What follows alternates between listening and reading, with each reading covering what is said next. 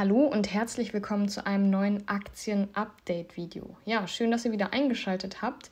Ähm, vorab sei natürlich wie in jedem Video erstmal gesagt, das ist keine Anlageberatung oder Anlageempfehlung. Alles, was ich sage, ist wenn dann meine persönliche Meinung und falls ihr in Aktien, ETFs oder sonst was äh, investieren möchtet, dann informiert euch bitte immer selbst und äh, investiert nur das Geld, was ihr wirklich zur Verfügung habt und nicht gerade für Lebensmittel, Miete oder sonstiges benötigt. Ja, heute geht es mal um eine Aktie, die, denke ich mal, jeder von euch kennt. Und zwar dreht es sich um RWE.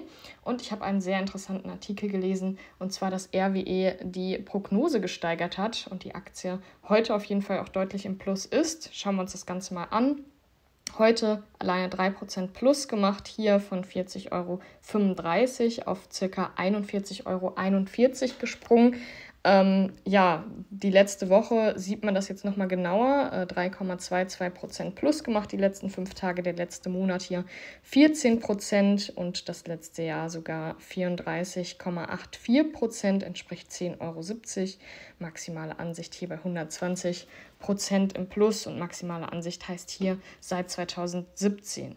Es ist natürlich auch eine Aktie, die sehr ähm, spannend ist, äh, für den Winter vor allen Dingen. Wir ähm, wissen ja alle, was äh, gerade so in der Welt passiert. Und ja, ich wollte euch den Artikel hier mal vorstellen. Und zwar hat der Energiekonzern RWE ähm, auf Basis vorläufiger Zahlen seine Prognose für das laufende Jahr nach oben geschraubt. Ähm, die Experten bei den Investmentbanken schielen derweil schon auf die nächste positive Nachricht. An der Börse ging es für die Aktie hingegen dieses Jahr bislang nicht nur aufwärts. Was bei RWE los ist, ähm, ja, die Analysten sagen und die Aktie macht. Ähm, RWE profitiert natürlich aktuell von hohen Energiepreisen. Rund zwei Wochen vor der offiziellen Zahlenvorlage zum zweiten Quartal war Ende Juli bei RWE schon klar, das reicht. Und so hob das Management um Chef äh, Markus Kreber erneut seine Jahresprognose an. Es werde erwartet, dass sich die positive Ergebnisentwicklung aus dem ersten Halbjahr fortsetzt. Auf Konzernebene wird deshalb nun ein bereinigtes operatives Ergebnis äh, von 5 bis 5,5 Milliarden Euro erwartet. Das ist jeweils über ein Drittel mehr als zuvor und auch die alte Spanne hatte RWE schon Mitte Februar nach oben korrigiert.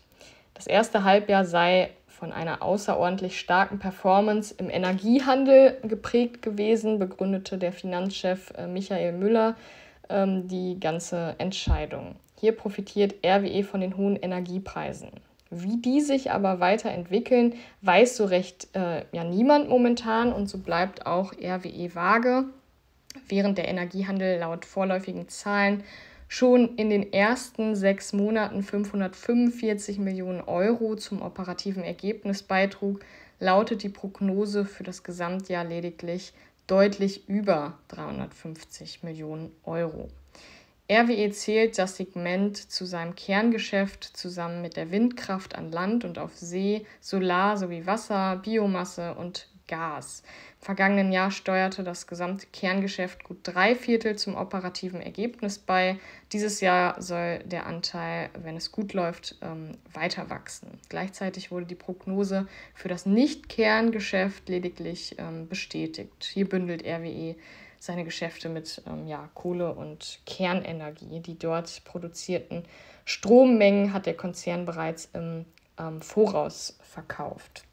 Ja, in Zukunft äh, könnte gerade dieser Bereich allerdings nochmal neuen Schwung bekommen, denn die Bundesregierung will ja, dass äh, Kohlekraftwerke wieder fit gemacht werden, um die Gasspeicher schneller füllen zu können. Kraftwerke, die bislang als Netzreserve dienten, sollen zur Produktion genutzt werden und ähm, solche aus der Sicherheitsbereitschaft gehören ab dem 1. Oktober der neu geschaffenen Versorgungsreserve an.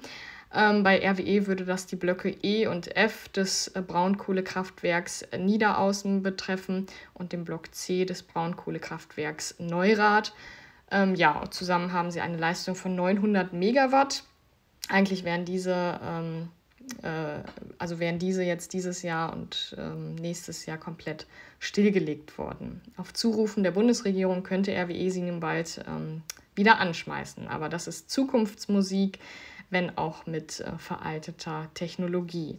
Im ersten Halbjahr spielte das Segment keine allzu große Rolle und steuerte noch nicht mal ein ähm, Fünftel bei.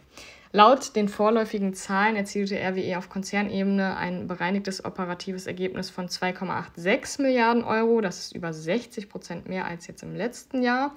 Zugleich teilte RWE mit, äh, dass sich die äh, positive Entwicklung auch 2023 fortsetzen solle.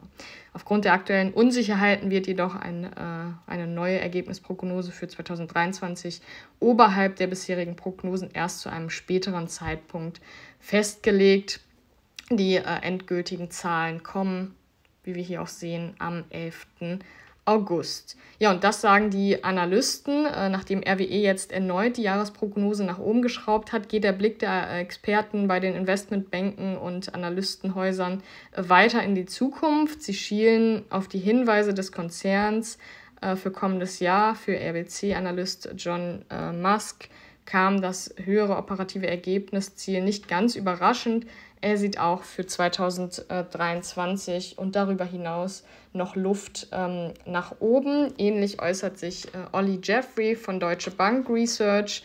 Er findet, dass RWE trotz äh, der deutlichen Anhebung des Ergebnisziels für dieses Jahr immer noch vorsichtig in die Zukunft blickt. Und auch äh, Jeffreys Experte Ahmed Farman erwartet dass mit der Ankündigung des Konzerns entsprechend die Markterwartung für das operative Ergebnis jetzt im Jahr 2023 steigen könnte. Ähm, Alberto Gandolfi von äh, Goldman Sachs lobte RWE. Das Unternehmen sei derweil mit Blick auf die drohende Energieknappheit in Deutschland ja, gut aufgestellt. Ähm, Werner Eisenmann von der DZ Bank sieht deshalb auch gute Chancen für die Anleger. Durch die positive Entwicklung im flexiblen Bereich Wasser, Biomasse und Gas sollte nun auch den Marktteilnehmern klarer werden, dass RWE ein Profiteur von Strom, äh, Stromengpässen einer höheren Aufmerksamkeit für Versorgungssicherheit und einem wahrscheinlich dauerhaft höheren Strompreisniveau sein wird, äh, schrieb er. Zudem sei RWE mit dem äußerst starken Offshore-Windbereich sowie der Fokussierung auf Wasserstoff und erneuerbaren Energien ein Hauptprofiteur einer nochmals beschleunigten Energiewende. Ja, was meint ihr zu RWE? Bleibt natürlich ein spannendes Thema, jetzt auch in Betracht auf den kommenden Herbst bzw. auf den kommenden ähm, Winter bleibt es natürlich sehr, sehr spannend. Ähm, ja, schreibt gerne mal eure Meinung dazu in die Kommentare. Es war ja immer hier zu Beginn des Jahres, wie man auch gut sieht, ein Auf und Ab. Ähm, Beginn des Jahres hier, genau. Da sehen wir ähm, Anfang bzw. Ende Februar wissen wir alle, was passiert ist und dann gab es immer mal wieder so Ups und Downs. Ja, schreibt mir gerne eure Meinung in die Kommentare, lasst gerne ein Abo da und einen Daumen nach oben, würde mich extrem freuen und ich würde sagen, wir hören uns beim nächsten Video. Bis dann.